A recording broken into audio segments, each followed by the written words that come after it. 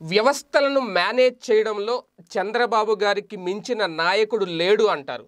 ఇప్పటికీ ప్రతిపక్షాలు విమర్శిస్తూ ఉంటాయి ప్రత్యర్థి పార్టీలు విమర్శిస్తూ ఉంటాయి చంద్రబాబు నాయుడు గారిని వ్యవస్థలు మేనేజ్ చేయడంలో తనను మించిన వ్యక్తి లేరు. అదే టైంలో జాతీయ మీడియాలను మేనేజ్ చేయడంలో కానీ జాతీయ స్థాయిలో పావులు కదపడంలో కానీ ఆయనే దిట్ట అంటారు. కానీ ఇప్పుడు అటువంటి జాతీయ మీడియా నుంచే అటువంటి జాతీయ స్థాయి నుంచే తెలుగుదేశం పార్టీ మీద చంద్రబాబు గారి మీద వ్యతిరేక కథనాలు మొదలైనవి ప్రధానంగా రిపబ్లిక్ టీవీలో వచ్చిన ఒక కథను ఇప్పుడు సోషల్ మీడియాలో ప్రధానంగా హల్చల్ చేస్తోంది. తెలుగుదేశం పార్టీ పరిస్థితి దిగజారిపోతోంది అనే విధంగా ఆ కథనం ఉండడం ఇప్పుడు తెలుగుదేశం శ్రేణుల్లో కూడా కొత్తగా ఒక భయం పుట్టిస్తుంది అని చెప్పడానికి ఆ కథనమే నిదర్శనం. అయితే ప్రధానంగా రిపబ్లిక్ టీవీ మొత్తం ఓవరాల్గా ఆంధ్రప్రదేశ్లో తెలుగుదేశం పార్టీ పరిస్థితి మీద చంద్రబాబు గారి పరిస్థితి మీద ఒక కథనం తయారు చేసింది.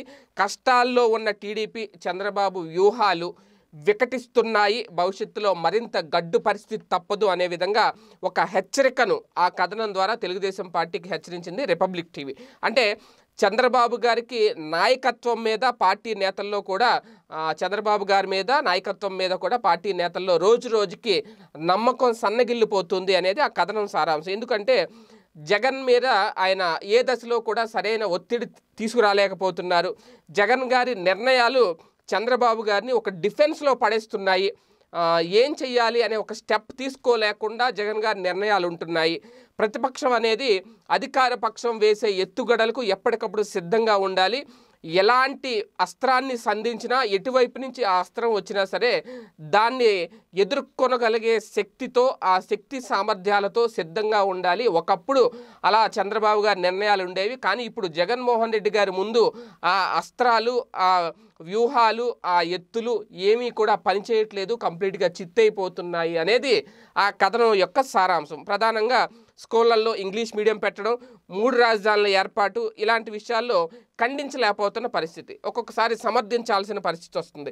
అలాగే టీడీపీ ప్రస్తుత పరిస్థితికి కారణం ఏంటి అంటే ఐదేళ్ళలో చంద్రబాబు చేసిన కొన్ని మాయాజాలాలే అని చెప్పి కూడా తేల్చి చెప్పింది ఎందుకు అంటే తన సామాజిక వర్గంలోని ప్రముఖులతో పాటు పారిశ్రామికవేత్తలను కూడా అమరావతి నిర్మాణంపై చంద్రబాబు మోసం చేశారు అనే విధంగా ఆ కథనంలో కొన్ని అభిప్రాయాలు వెల్లడించారు. చంద్రబాబు గారిని చాలా బ్లైండ్గా నమ్మేసి వేల కోట్ల రూపాయలు పెట్టుబడి పెట్టిన వారు ఇప్పుడు దిక్కు తోచక అవస్థలు పడుతున్నారు. కేవలం పెట్టిన పెట్టుబడుల కోసమే చివరకు చంద్రబాబు కూడా రెండు జిల్లాలకు మద్దతు ఇచ్చారు అనే అంటే ఒక స్వప్రయోజనం కోసమే మద్దతు ఇచ్చారు. ఆ తర్వాత ఉద్యమాన్ని గాలికి వదిలేశారు అనేది కూడా ఆ, ఛానల్లో చాలా స్పష్టంగా తెర మీద తీసుకొచ్చింది. అన్నిటికీ మించి చంద్రబాబు గారు త్వర నాయకత్వ అంటే టీడీపీలో చంద్రబాబు గారి తర్వాత లేదంటే చంద్రబాబు గారిలో కానీ నాయకత్వ సమస్య అనేది బాగా పట్టిపీడుస్తుంది తెలుగుదేశం పార్టీకి.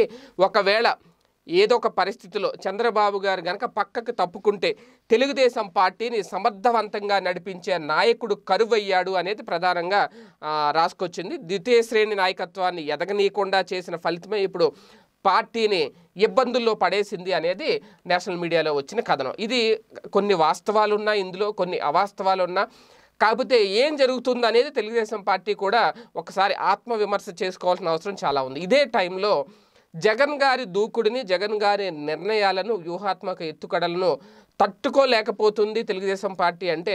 మరి అంత రాజకీయ అనుభవం ఉన్న నేతలు ఉన్న పార్టీ ఎందుకు ఒక యువ నాయకుడు ముందు ఏం చేయలేకపోతుంది ఆ నిర్ణయాలను తిప్పికొట్టలేకపోతుంది ప్రజల నుంచి వ్యతిరేకత తీసుకురాలేకపోతుంది అంటే కారణం ఒక సమర్థవంతమైన పాలన అందిస్తున్నప్పుడు ప్రజల నుంచి వ్యతిరేకత తీసుకురావాలంటే అది అంత సాధారణమైన సాధ్యమైన పని కాదు కాబట్టే ఈ రకమైన తిప్పలు తప్పట్లేదు అనేది నేషనల్ మీడియా వేదికగా తెలుగుదేశం పార్టీ పరిస్థితి గురించి ప్రజలకు చెప్పిన ఆ కథనం యొక్క సారాంశం.